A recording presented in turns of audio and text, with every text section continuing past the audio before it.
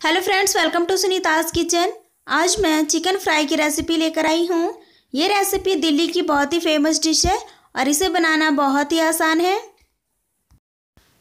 Recipe शुरू करने से पहले मैं आपको बताना चाहती हूँ कि अगर आपने अभी तक मेरे चैनल सुनीताज किचन को सब्सक्राइब नहीं किया है तो प्लीज़ सब्सक्राइब करें, ताकि इसी तरह की आगे आने वाली वीडियो आप देख सकें। तो आइए रेसिपी बनाना शुरू करते हैं। और देखते हैं कि चिकन फ्राई बनाने के लिए हमें किन किन सामग्री की आवश्यकता है। रिफाइंड ऑयल है चिकन को फ्राई करने के लिए। चिकन है आधा के जी बड़े बड़े पीसेस में काटा हुआ। दही है चार टेबल स्पून बेसन दो tablespoon ginger garlic paste दो tablespoon red food colour half teaspoon नमक स्वादानुसार रेड चिली पाउडर एक स्पून भुना हुआ जीरे का पाउडर एक टेबल स्पून एक स्पून काली मिर्च पाउडर एक स्पून धनिया पाउडर लेमन जूस एक टेबल स्पून सबसे पहले हम चिकन को मैरिनेट करने के लिए सारे सामग्री मिक्स करेंगे। उसके लिए चिकन में दही डाल दें।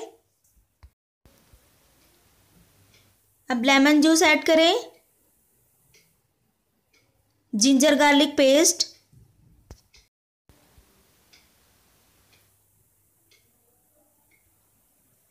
बेसन डाल दें। बेसन के जगह पे आप अरारोट या कॉर्नफ्लोर भी ले सकते हैं। इन्हें अच्छी तरह से मिक्स कर दें। पानी की आवश्यकता बिल्कुल भी नहीं है, क्योंकि दही है।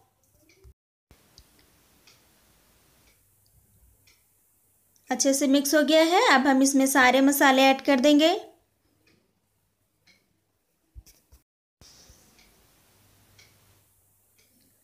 सारे मसाले को ऐड कर दें। नमक स्वादानुसार डालें। रेड कलर भी डाल दें। अब इन सारी सामग्री को अच्छी तरह से मिक्स कर दें। और फ्रिज में रखेंगे हम एक से डेढ़ घंटे के लिए, ताकि जो इसके मसाले हैं वो अच्छे तरह से चिकन में ऑब्ज़र्व हो जाए। तो हम इसे फ्रिज में रख देते हैं। एक घंटा पूरा हो चुका है तो अब हमने चिकन को फ्रिज से निकाल लिया है।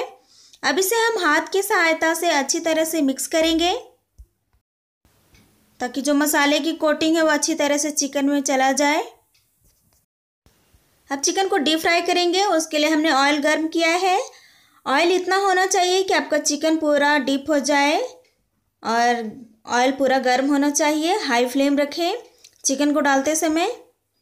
एक एक करके आप उतना ही एक बारी में डालें जितना कि आप तल सकें।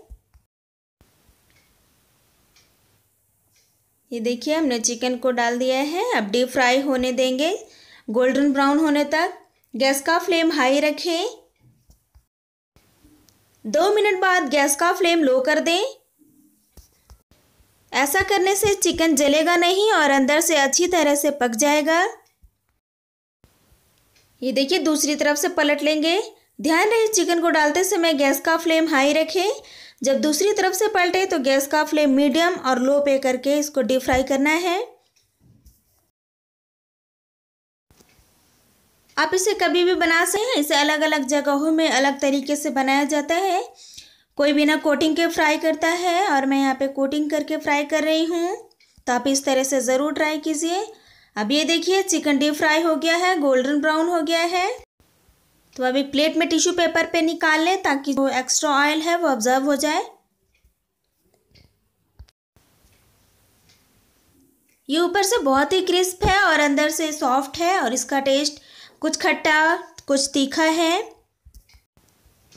कभी कुछ अलग खाने का मन हो तो आप इसको ज़रूर ट्राई करें। अभी सारे चिकन को निकालिए हैं।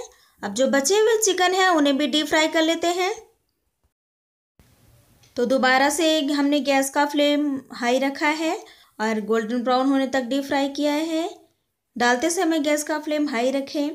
दो मिनट बाद गैस का फ्लेम लो कर दें और ये भी गोल्डन ब्राउन हो गया है तो इस चिकन को भी निकाल लें। तो ये देखिए, सारे चिकन डीप फ्राई हो गए हैं और हमने इसे प्लेट में टिश्यू पेपर पे निकाला है। तो ये देखिए, चिकन फ्राई तैयार है।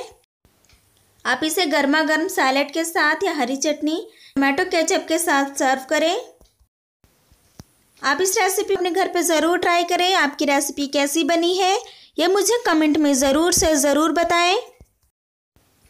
अगर आपको ये वीडियो पसंद आया हो तो लाइक ज़रूर करें। ज़्यादा से ज़्यादा शेयर करें। और अगर आपने अभी तक मेरे चैनल सुनीतास किचन को सब्सक्राइब नहीं किया है तो प्लीज़ सब्सक्राइब करें, ताकि इसी तरह की और भी रेसिपीज़ आप देख सकें।